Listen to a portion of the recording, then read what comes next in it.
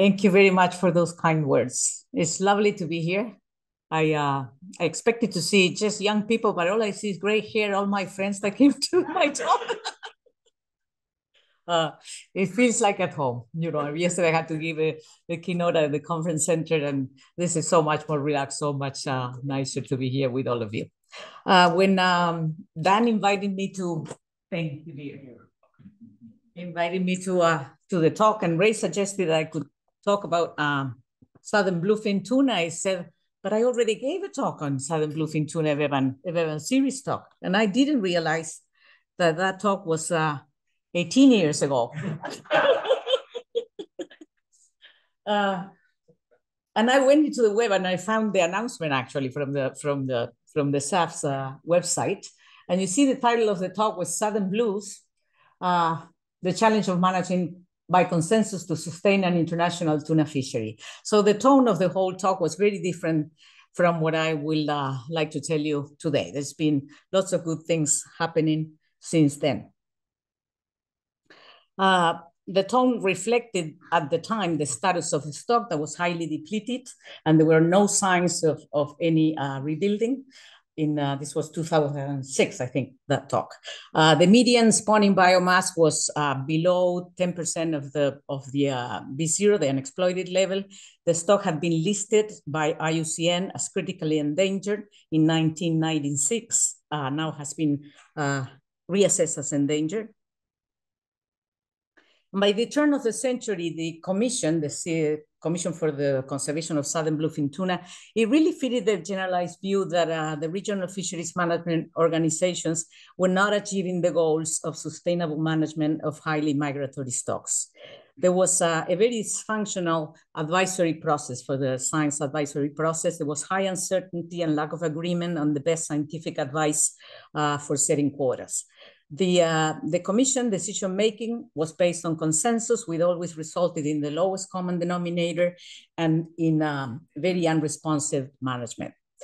Problems with the implementation and compliance that were apparent later uh, were, were, also, were also there. So this was the concluding slide of my uh, of my presentation then that said the question remains as to whether concerted management action will be possible for the fishery or the fishery will continue to climb to the point of bioeconomic equilibrium.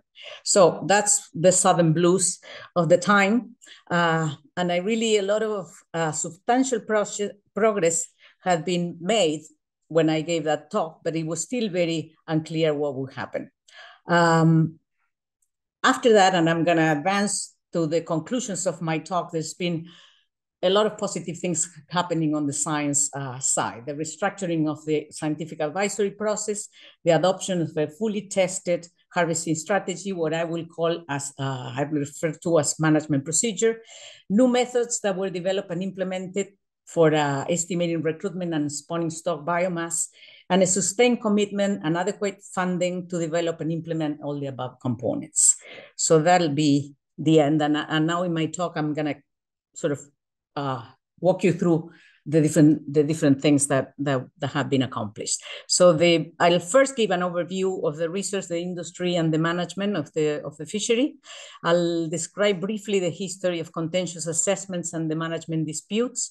I talk about the restructuring of the scientific advisory process, and then I'll spend most of my time talking about how the uh, we changed the framework from providing advice on the annual total allowable catches to providing advice on the management procedures as being a key to turning all the other problems around. Uh, the, this is a very exceptional species. Um, it, it's unlike the tropical tuna, it lives uh, up to 40 years, gets big, 200 kilograms, more than two meters long. They don't breed until about age 10. They are warm-blooded, they're hardly migratory, and they are very fast swimmers. They, it's one of the most valuable fish in the world. Almost all is sold in the Japanese sashimi market for incredible prices. There's only one known spawning ground, which is uh, close to Indonesia. And from, the, from there, the, the juveniles uh, migrate to the south of the Australian uh, coast. They move into the Great Australian uh, Bight at ages two and three. And some of them migrate west to Africa.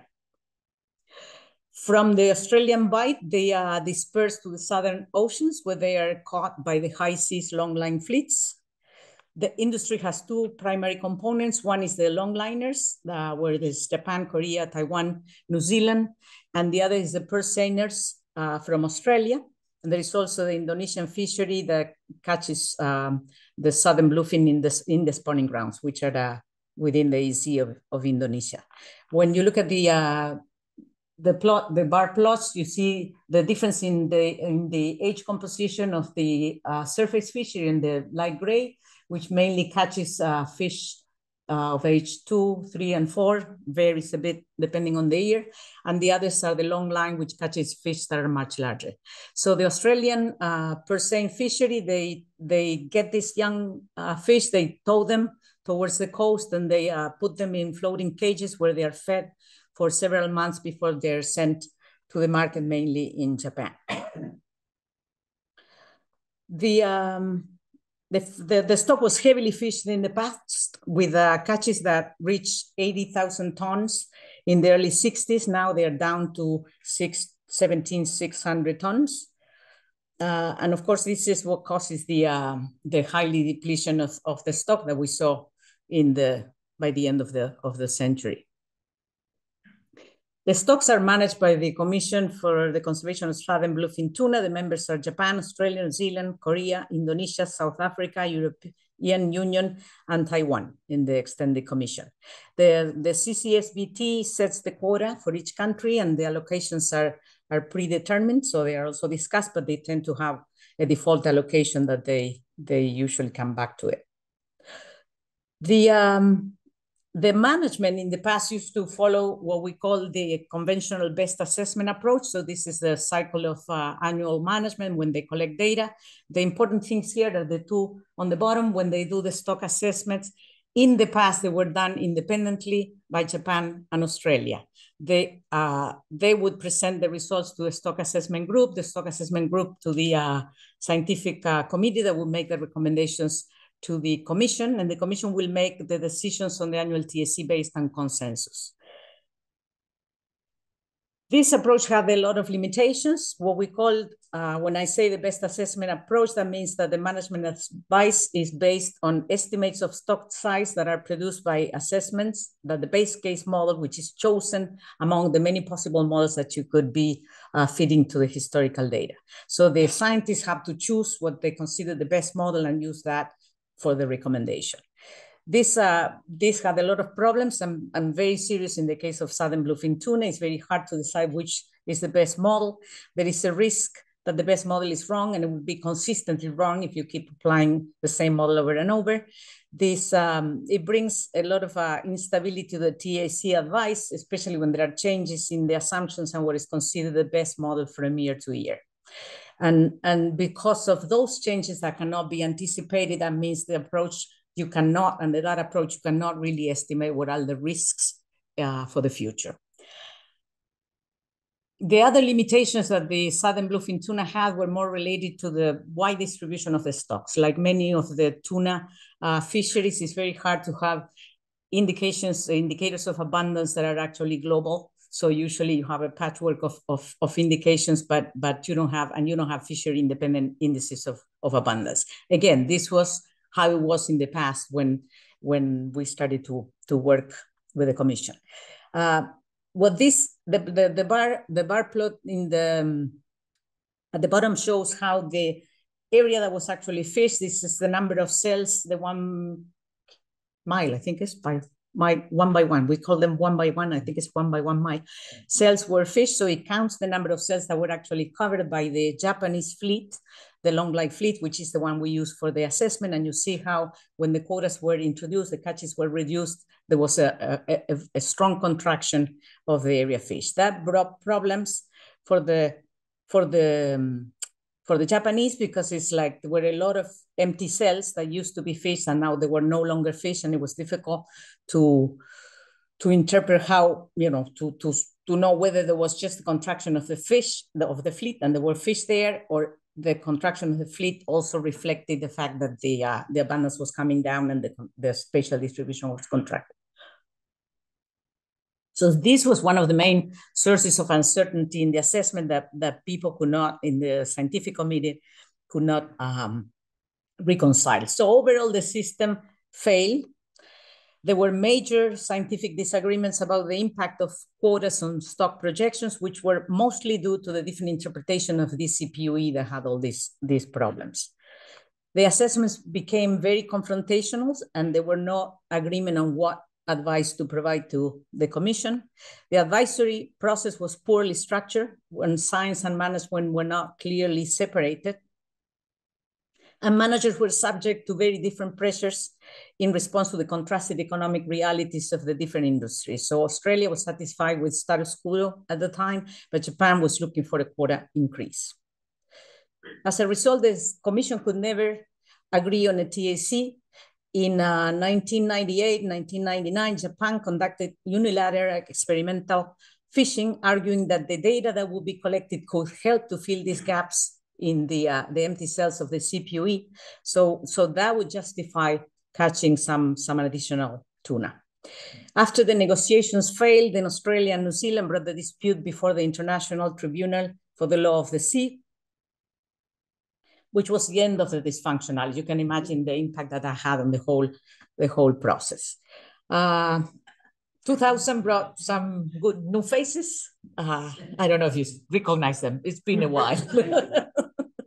So there was a review panel that uh, recommended that that the structure of the process was was bad because they were rotating chairs between the member countries, and that that would never work.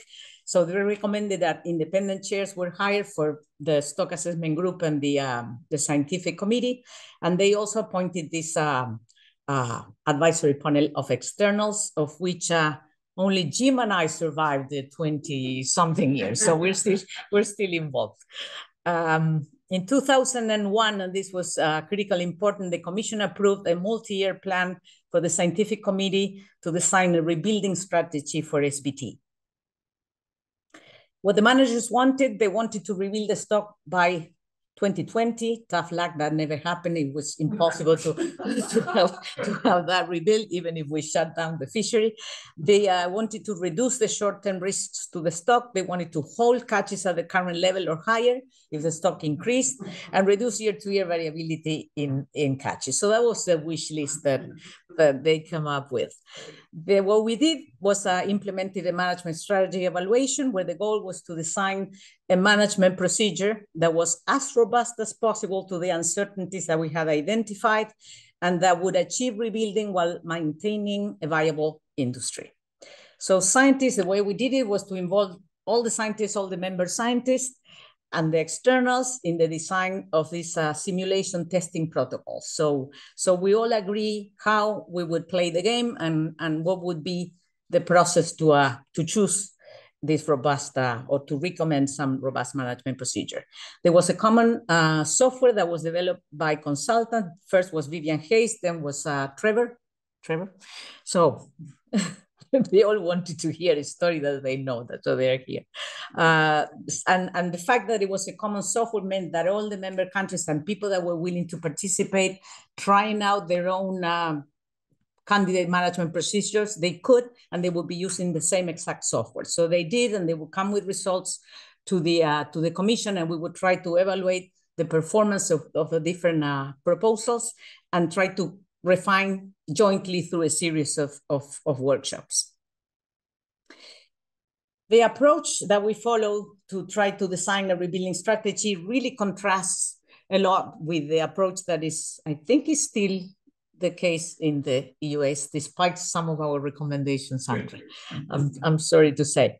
Um, it, it really differs. You know, in the States, uh, you once the stock is declared to be overfished, then you're then you have to rebuild. You have to implement a rebuilding plan, and there is a 10-year rule, which is probably still in place, that, uh, that as long as you can do it, so it's not like the wish that the commissioners had, you should rebuild it in 10 years. This was totally different the way we did it. The rebuilding goals were not set in advance, so they tried with this 2020, but but as soon as that was uh, was proved to be unachievable, then then they gave up. They were not they were not uh, giving a rebuilding target.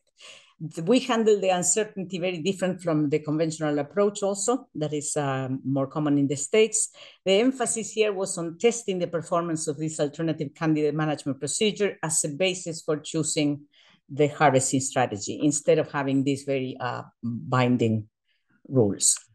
When I say fully specified, and that's a very uh, critical difference from the other approach, is that everything that goes from the data that you collect to how you analyze the data, how you put it in this equation to finally spit out a TAC recommendation. So nothing will be changed as long as you're using this management procedure. So it's uh, this was sort of like just showing the equation, simply showing that this is a it's a very simple function. What we uh, that that I'm showing here that we use that was a function of the CPUE, the one that had problems. So we had to admit a lot of uh, different alternatives for CPUE. There was an aerial survey that was used to um, estimate the size of the recruits. So, so the planes would be uh, flying on the Australian Bay to, to, um, to count the number of juveniles. We use the catch and we use the age composition of the catch. That was the structure of the first uh, procedure we tested. The one, the other difference is how we handle the uncertainty. You try to ensure that the simulation models uh, encompass all the full uncertainty that you were able to identify. And this is a very hard problem, is how to bound the uncertainty in these types of uh, management strategy evaluation. And because you also need to assign some plausibility uh, scenario uh, to the different scenarios that you consider. In our case, um, one of the key uncertainties is the productivity of the stock. You can fit different models with different uh, what we call steepness parameters. That is sort of the, the productivity of the stock that will fit the data pretty well, and they have totally different implications in terms of how hard you can harvest the stock. So we have different axes of uncertainty. The way we did it is instead of having one model with just parameter uncertainty, we have a collection of models that span a range of the steepness and natural mortality and the alternative interpretations of CPUE.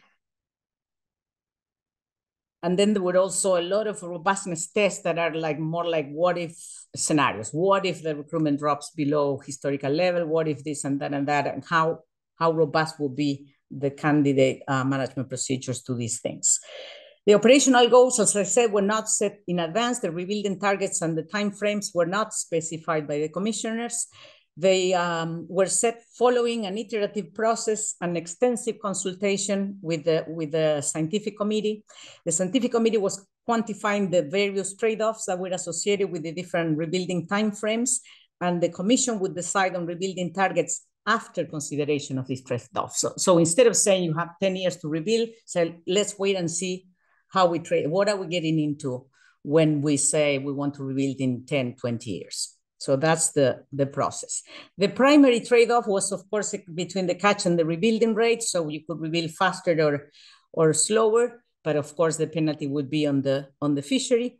The secondary trade-off is once you tune the procedure, so you force them to all rebuild at some rate for a given time frame, then you can do it with initial pain, we call late or early pain. So you can do it fast and get out of the risky zone immediately with a lot of penalty and then end up in the same place, or you can go more gradually so as to favor the stability of the industry. So these are the trade-offs that we were evaluating uh, through the simulations, the main trade-offs. There were others like variability in the catches, but these two were the, more important ones. So finally, in 2011, the, um, the commission adopted what we call the Bali Management Procedure because that's where we were when we, uh, we came up with the combining different things from different from the candidates that different people have developed, we we, we came up with this um, procedure that, that, that, the, that the commission finally accepted. The idea was to rebuild the stock to an interim target. So because they couldn't determine, or we couldn't determine how fast it could go and where the BMSY would be, whether, you know, we didn't have it. The commission said, well, let's, let's go gradually. So we have an interim rebuilding target that was 20% of B0 by 2035, and they had to be achieved with a 70% probability. The other uh, thing that they tried is that they wanted to reduce the interannual variability in the TAC. So we were doing um, TACs by blocks of three years and also restrict the changes from block to block. The Bali procedure was implemented successfully and it was used to set the TACs until 2020. So, so it really lasted a long time with the original parameters that we that we were um, specifying when it was adopted. The stock rebuilt from less than 10% unexploited levels to close to that 20% that was the, the, the interim rebuilding target. There was um, the reduced assessment workload allowed the scientists to spend more time doing other things. So there was this development of very innovative methods to estimate abundance. The methods uh, based on genomics, the close-kin mark recapture methods to estimate the abundance of the uh, spawners. And then lately, more recently, the use of gene tagging to estimate recruitment. So instead of doing that aerial survey, they are now using gene tagging to estimate the recruits. And, and this is the paper by Mark Bravington and co-authors where the where the method was, uh, was published. There was a second round of MP testing that was initiated in 2017. So the, the MP is not supposed to be cast in stone forever.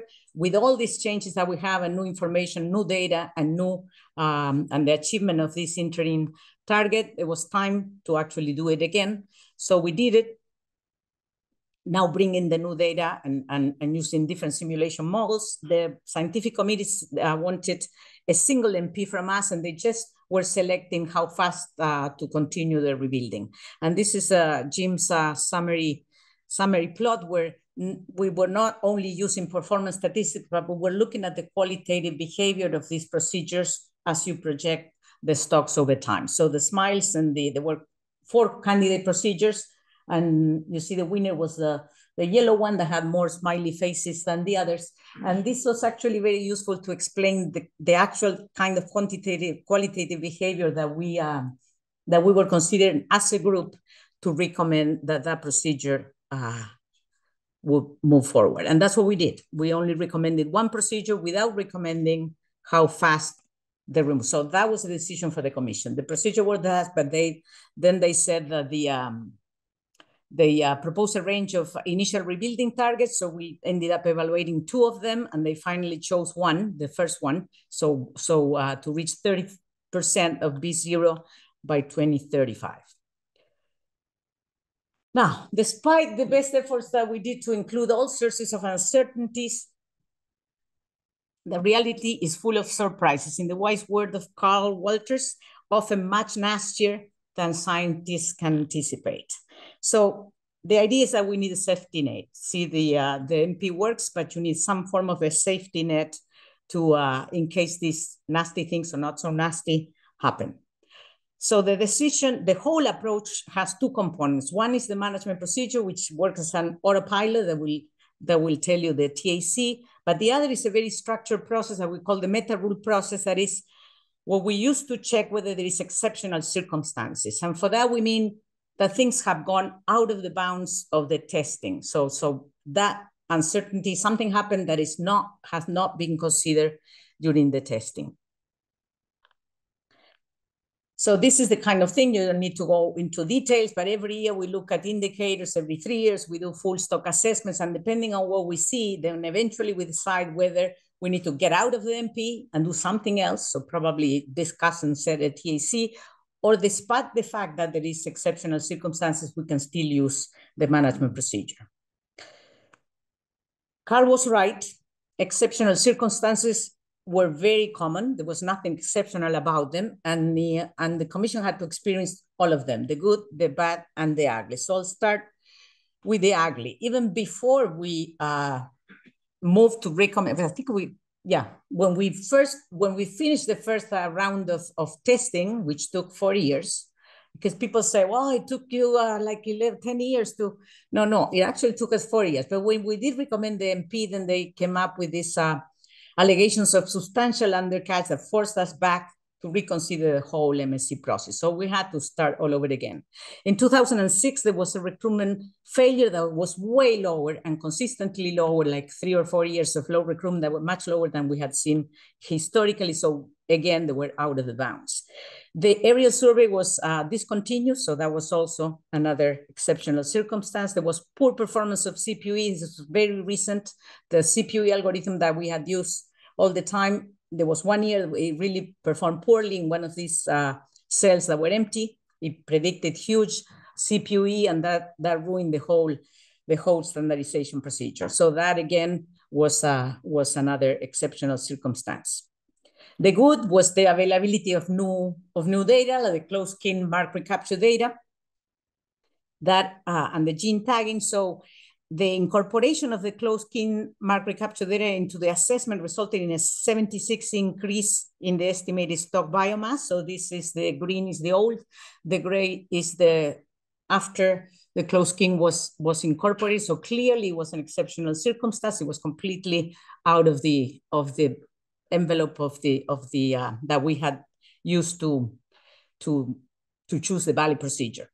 So exceptional circumstances were declared here again, but the beauty of the management procedure approach that works incrementally is that we could still work with the, with the Bali procedure. So despite this huge change in absolute uh, biomass, we were able to still continue using the same procedure without even changing the parameters. Why? Because it would be gradually going up if it need to. So overall, some salient conclusions. The scientific consensus was really facilitated by restructuring the advisory process and by bringing external scientists that would endorse with some arbitration power. So this was us. Ray has some, I have to tell this, this Ray has some great anecdotes when there was one that was a very controversial issue and the chair of the committee was really afraid that the rest of the meeting will go in that discussion. So the panel moved away and we discussed what the advice would be from the panel. And because our terms were like, if they did not agree, we would provide the advice directly. So that's that's what the contract said. So we came up with that advice. And when he was going to present it, he said, well, this is our advice. We're not going to argue about details. You either take it or you leave it. And so people went like, I, I went like, oh, you know, we have not decided that will happen. So that saved the rest of the meeting because people say, well, yes, we're we're with you. And and the and the uh, the chair of the committee went, okay, so, well, adopting a management procedure was very important because it really changed the focus of the uh, scientific debate from very inconclusive arguments about what the TAC should be next year and how the stock would respond and what was the best assessment to actually discussing what scenarios we should be using in the testing and what should be the protocol used in the management strategy evaluation, which was a much less controversial thing. And that brought people together in a much nicer way we tried to also encourage participation by all members. So there was a lot of ownership in the end because everybody was sort of playing the game. There were many, many teams actually proposed different, different procedures. So we had to reduce them gradually to something that was a bit more manageable for, for the evaluation. And that was, that was uh, actually very good. So what this experience indicates is that the management strategy evaluation allow for quantity of real trade-offs so that the rebuilding goals could be established by CCSBT, by the Commission, after they were weighing the short-term risks and costs associated with more or less aggressive rebuilding policies. The Bali procedure proved to be very robust to major assessment updates. That's also very important. So it was avoiding the abrupt changes in TAC that would have resulted had the best assessment model be used instead. Having an MP in place reduced the assessment workload, and then it allowed all these other great developments of methods to be implemented. The outlook now is much more positive. There's been clear signs of rebuilding. The gray is what's been uh, it's up to 2020 what I had is uh, is and you see the bending of the of the spawning biomass and then the projection is how the procedure is projecting to reach the 30% uh, target that the commission set for us these uh, these positive things have been acknowledged by by other organizations. They are not only uh, true for for for southern bluefin tuna. This is the Harvest Strategy Org, which is supported, I think, by by Pew. That uh, they say that adopting these kinds of uh, approaches increases transparency, predictability, and market stability. They avoid costly and highly politicized negotiations. They facilitate swift, efficient management to ensure resource health and industry profitability. The industry likes the approach because of all the planning that, that they, uh, they can do. Effective, uh, effectively implementing the precautionary approach because you can really estimate the risks that you cannot when you're not really allowing for, all these possible changes in models and assumptions. And they, the procedures are designed to comply with the management goals. The good news is that other tuna fisheries are also following this same approach. There is now, uh, there's been a lot of support from, from a GF uh, UN project to, to help the different RFMOs move in this direction. The Marine Stewardship Council now requires RFMOs to adopt harvest strategies for all tuna fisheries. So, so there's a, a, a great incentive for them to, to put their act together. I'm not going to get into the details, but many of the uh, of the RFMOs are sort of making gradual progress. So with this, I'm going to close. I'd like uh, to acknowledge the support of the Commission many colleagues who were part of this learning journey and who contributed in many ways to the much better outlook of the stock and the fisheries. This picture is just the, uh, the last meeting that we had last June. So thanks to SAFS for hosting all our modeling working groups. You treat us so well that we'll keep coming. So as long as you let us. So thank you all for your attention.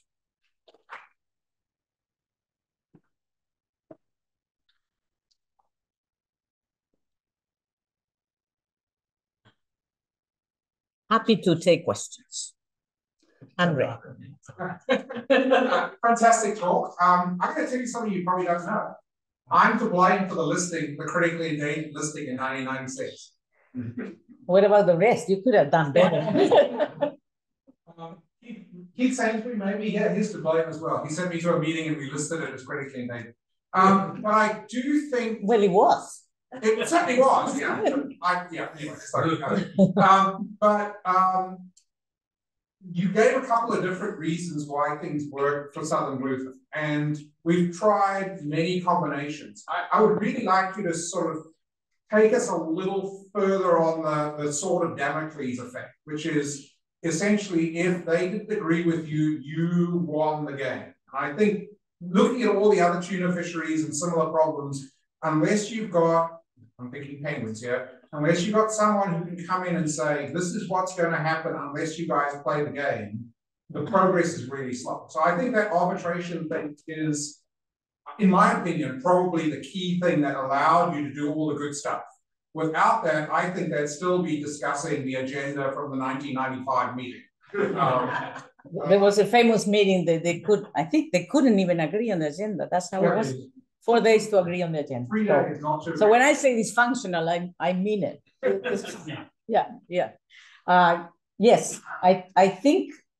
Well, it's it's, it's I think it, it, it was very important that uh, it was also very important that there was even though there was disagreement, all the scientists or the scientists and the main players at the time that were not, you know, the commission expanded and brought in new members. But at the time, the main scientists were all on board and that's something that that is not always the case. So they were all on board about about mm-hmm. getting not you know they wouldn't agree on the actual best model but they were all on board in terms of uh, wanting to do this management strategy evaluation. And that helps a lot because they were all contributing. There were disparities of levels so that was a bit of a hard thing um, that we had to you know for me it was i was coordinating the process. And and for me it was very important that people felt that they were part of it. So so you had to, you know, some people were ready to run faster than others, and but it, but three countries participated with many teams, so so it was really well well well done. Jim. Yeah, uh, thanks. I wonder how much you think about um, being lucky.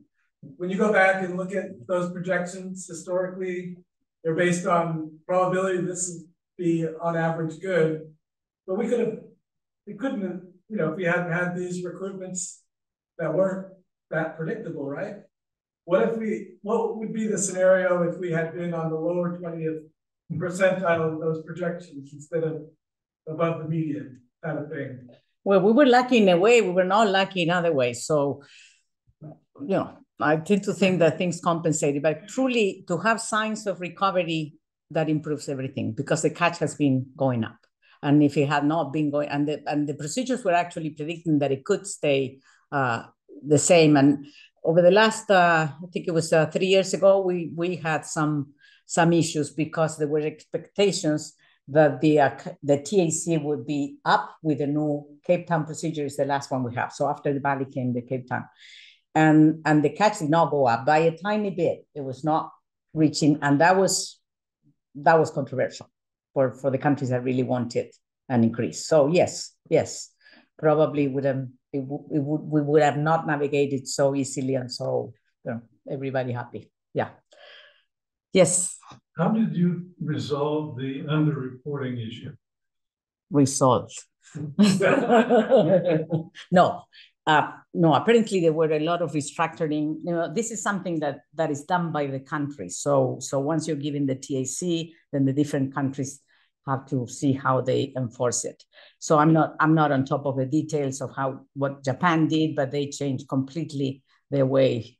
He he Kurato-san, where are you? You, you he, he would be able to explain better what Japan did to actually decrease the problem. The way we dealt with that, that that was in 2005 when we had to go back and do it again, where we because it was no accepted uh, historical catch, and the, it was a very sizable amount, like twice. So so it really forced us to reconsider all the models. So we were using scenarios. There were two panels that did a review of the market, and based on the review of the market, they came up with some estimates of the uh, of the uh, of, of the size of the of the overcatch. So based on those estimates, we have a couple a couple um, time series of catches. The worst part was that we didn't know whether the overcatch was affecting the CPUE or not. So whether the CPUE was clean because it could have been a subset of the uh, of the of, of the boats that were fishing legally, or it was actually affecting the effort as well. So, so we also had alternative scenarios. So we had to explode the, the number of scenarios that we were we were considering in, in the testing. Bill, I'm going with the faces I know first. I think this is unfair for all the students. You should you should do it. Bill. How did the evaluation software work? I mean, what sort of tests did the, did the software put these proposed procedures through? What sort of what? In, what sort of test did the, the evaluation software perform? I mean, this is all, all done in software to choose, to judge candidate procedures. Yes. I'm just wondering how the, how the, so how the software worked, what it, what it tested, how it tested. Oh, uh, we have a, a model that is the same one we use for stock assessment. It's an ADMB model. And then there is a projection model from that. And we have a, a what we call a reference set of, uh, of models. So we try to use um, MCMC initially, and we failed. There was problems with convergence, especially when the recruitment failure mm -hmm. took place. So we ended up, instead of, instead of uh, having um, parameter uncertainty through MCMC, we had to do this grid where we are crossing all these values of steepness and M's and C alternative CPUEs. Now we're uh, we're in the process of moving to TMB, and Darcy Webber is uh, just coded the uh, the model, so he's matching the results that we had with the old model. So we're uh, hopefully go go back to doing MCMC. Probably not for the whole thing. We'll still plan to keep the uh, steepness as something that we'll treat discretely and then and then do MCMC on each of the values. Is that sort of what you were after? No.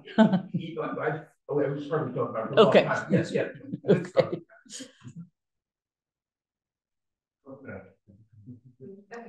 Um, so like in the context of like implementing this in like different fisheries or like with a different like fish, like this sort of management plan, like with different ecological and like economic differences, how do you think like designing and implementing and monitoring work in that context? See, what we call the, the testing models are what we call the operating models. You can build whatever you want because it's not bound by whether you can estimate the parameter or not. So you can actually bring alternative scenarios of any kind, bring in economics if that's so the, the goals and the uh, depends on, on the goals and things that people care about. And then you have performance statistics from that operating model that is mimicking the possible realities. And then you come up with the with the with the statistics. But yeah, there's no there's no limit in, in, in what, except for numerical or, or, or computing time, but, but that's becoming less and less of a problem. Um, with your current hindsight and like understanding how successful this was, is there anything you would have done differently or something you wish you had known at the time? I don't, I'm not the type of person that looks back to say, because probably I would have done lots of things differently. I don't know. I don't know. Uh, you know, it would have been nice to to anticipate some of the things, but but we didn't know, so we did as good as we can. No, I'm I, I really don't don't know what I would have done differently. Trevor.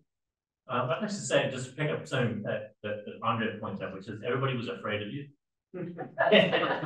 But, but in all, in all seriousness, In a nice way. I certainly was in a really nice way. I mean, in all seriousness, like, having someone who's a strong leader that everybody respects, who's impartial, um, I think was critical to the process because without someone that, like, you know, you're joking about the sort of democracy, but you know, um, that Well, everybody it's- yeah, and respected what especially when there was such a different level in terms of technical capabilities. Yeah, So th- that makes it even worse because the people who have more technical capabilities will tend to dominate. yeah. If you put that and then on top uh, language issues and all, all kinds of things, I think we were trying to level in the uh, Yeah. what is it? But I- but think something like I think, I think the key is that the strong leadership um in running the meetings is absolutely critically important when you have these two. If you have multiple competing groups, having someone who's impartial, who's seen as impartial, but also is a strong leader, really critically important. And that entirely is is your contribution to the process. So, no, it's the Yeah. the whole panel. oh, Any other students from the class? Yeah, uh, with your background perspective, how do you think your applications are for UNCA, UN, UNFSA? What is his name? Specifically, how sustainability. If you can speak up a bit because I'm I'm old. Uh, with your background and perspective, how do you think the applications of the UNCA and UNFSA agreements specifically, uh, help with sustainability of fisheries overall? What do I think about the agreements and the And their overall impact? on the trans? I'm I'm I'm not following the question. He needs to clarify what he means by the U, UNFSA and the, the- the acronyms. Yes. Did I use that acronym? The stocks agreement? The stock, The fish stock agreement, right? yeah. Did I use that acronym? I just read about it. No, he's asking Ah. whether, whether those agreements were important in this process. And the answer is probably no. No. No, as, as you see, I, I, I don't even remember the, the acronym, so. Yeah, right here in the blue hat. Well, um, thank you for the talk. I got here a little bit late and, um, I, you're talking about how you approach uncertainty a little differently. Could you just give a quick little rundown again? How you, um, yeah, decided upon the different uncertainty, uh, uncertainty sources? How I would approach what differently? Big question. He wants to know, um, how you decided on the sources of uncertainty. Oh, uh, well, there are some that are, that are classical, huh? So like this, the productivity. That's uh, the difficulty is to, to bound it because we distrusted the likelihood as a basis. So the, how, how well they were able to fit the data was, we, we really did not want to go with the likelihood. So we had to provide a range based on, we did a voting around, like the first time it was sort of Uh, we did a voting around the room. We we heard all the arguments that different people had for the different values, and then we put, and there was a lot of agreement. So we ended up just having a range of of, of possibilities. Then the the critical, it was obvious that CPUE was one that would be important. There were many more initially, but we only kept the ones that that were relevant in terms of affecting performance. So if there was something that said, well, yes, but these parameters should be that, or the maturity should be whatever, but it wasn't changing things, then we would drop it. So we, we reduce it to the ones that were critical. Then natural mortality, there's tagging, and tagging is providing information on some of the uh, the natural mortality parameters, but but there is still a lot of a lot of uncertainty. Thank you. Hi, I'm, uh, thank you for the talk. It was, it was great. And, uh, I'm the US Federal Commissioner for the US uh, Whiting Treaty with Canada. And one of the things that you, uh, one of your early slides, uh, I, I uh, was amazed. Uh, you had just that one goal. And, you know, we've been doing an MSE for about 10 years. Yeah, more than that. Okay. So, uh, 10 years and, uh, we, uh, have five principles, five goals, and each of those goals have sub, sub goals in there. And I'm just wondering, how did you get to one kind of major It, goal? it wasn't, it wasn't one, it wasn't one, it was a, and we did have to, um, see, what happens when you have many, and, and people asking for things, sometimes they say, no, I want a higher probability of rebuilding, but a shorter and a longer. So it's a time frame, the probability. We convinced them that that you could do with just changing the uh say please stay with the median. Don't don't ask me for different probabilities and different time frames. Just stay with the median and let's just vary the time frame because actually it will be the same. We could have combinations of the others and and i'm, I'm not sure they understood my argument but i said it so firmly to the to the commissioners. We had a strategic whatever that was uh, that that they said well she must know what she's talking about. Yeah you know there is a limit to what people there is a lot of t- turnover of, of managers. So so there's, some that understand better but we ended up doing a lot of work for nothing because they were combining different things that they wanted to see and said well but these are equivalent. These couple of things that cancel each other and you end up in the same place. I saw uh, a similar problem in the Atlantic Bluefin Tuna MSE that just uh, finished. Uh, they adopted uh, an MP a year ago, two years ago, sort of. And they had many, many of the goals were actually very correlated. So you're measuring risk. You can measure risk in so many ways. So they had that, that, that, that. And I don't think they, you know, you end up having the ones, but there has to be iterations with the managers where you're trying to show the results and show why you know you don't need to really try all that I'm thinking maybe we need to get a contract with you to scare them into. go with my finger and great I, I had two questions. I think my favorite would be, so there was a big shock when it was discovered there was a lot of unreported catch. But as far as I know, there still is the assumption that the Australians are continuously underestimating their catch. yes Is that, how do you deal with that? we um They they refuse to adopt the right way to count fish. and They have a method that we know is biased. yeah they they they count the fish what is it? they they they know how much fish they get from the ponds and they count the fish but they don't weigh them when they transfer them to the pond so the size of the fish is the source of the problem so that's what ray is talking about so they have a sample of fish when they are in the pond and we have evidence that that sample is very biased so there's been a lot of pressure for Australia to put in um, stereo videos, and it's been shown to work in many other places that, that you can actually do measurement very well. And, and to tell the truth, and that's what we think, they're dragging their feet, and, and we never get the stereo video in place. So the way we dealt with that is assume a value that was sort of consistent with, uh, you know, there's a range of estimates, and depending on the year, sometimes the estimate is better. That usually Japan will come with estimate uh, of, of how much they are underreporting. So we actually inflate the catch by 20%, and they accepted that, and we shift. so we probably means chances are that, that it's actually worse. Uh, and, and we also shift the size composition in order to match that. that uh, uh, we have robustness tests to, to deal with the probability that, that it, it may be higher than that. But that's that's what we're doing. Yeah. Cool. One last question. Um, when assessing, um, like the best management practices for, uh, certain stocks, what are the main factors that you consider? Like for respective stocks and like, cause I assume that different like stocks would have, um, varying management like capabilities. And then also, you mentioned in your talk, um, about how your model would like take into consideration, um, extenuating like circumstances and how like other factors that the model didn't consider.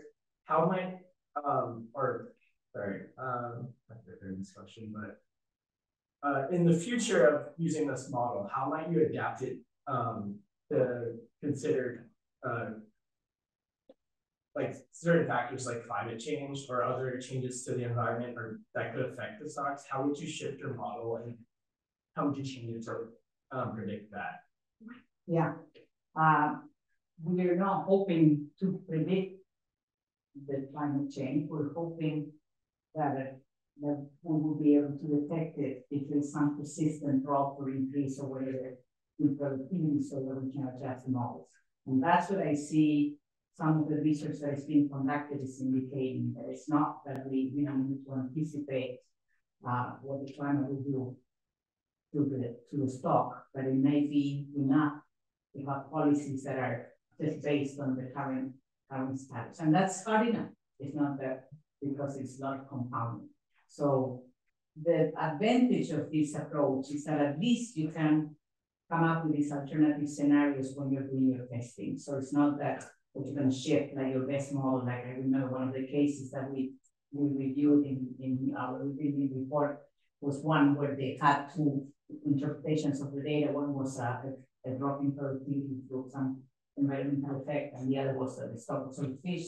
One year, the model favor was this, and the other year was that, and that meant you know, catches were coming down, the TCs had to come down, down, down, down, down, because the stock was interpreted as being overfished, and then the next year they said, no, it's high probability of the an environmental effect and the catches go back up. That, that is unacceptable, I think, in terms of uh, providing us that good advice. So at least with this approach, you can you can represent the different scenarios. You had the first question? Yeah, it was just like, what were like the main factors that you used to build the model? Like how, build like, the model. like for like stocks, like what do you look at? Like they, like different stocks, right? Like I would assume that the stocks are different, like different environment conditions or different like um, conditions for each of the respective areas. Like, what are the factors that you look that like comparing different stocks? Like, this is a single stock. Or, like, but like if you were to use another stock, like or another species. So. Yeah, well, usually what you do is a stock assessment. That's your start. If you have good historical data, then you try to fit the, the models to the historical data, and that will attempt to bound the parameters. The models are they may be a bit different, but but you know, stock assessment models are mm-hmm. you model the cohorts. You know, there is a lot of commonality in the in the models that we use for fisheries in general. But you try to to fit the historical data to come up with with the parameters. That's the first thing you do. Of course, if there is totally different like histories, then then yes, you need a different kind of model. If this is a, a, a fish that switches uh, sexes, well, that's a different type of model completely, but, but this is just a standard, a standard type of stock assessment model. You may have, uh, you know, slower dynamics and then you can live with uh, uh, steps of, of one year. This is one that has uh, semesters, other tuna, tropical tunas that will use three months because, because the dynamics is much faster. So there's things like that that you, that you will have to consider uh, reflecting the, the characteristics of your, of your. All right, before we thank Ana one more time, uh, I just want to acknowledge a few people here for uh, helping pull off this year's Bevan series. This is our 10th week in a row. Uh, to start with uh, thanking the Bevan Endowment who uh, provides funds for bringing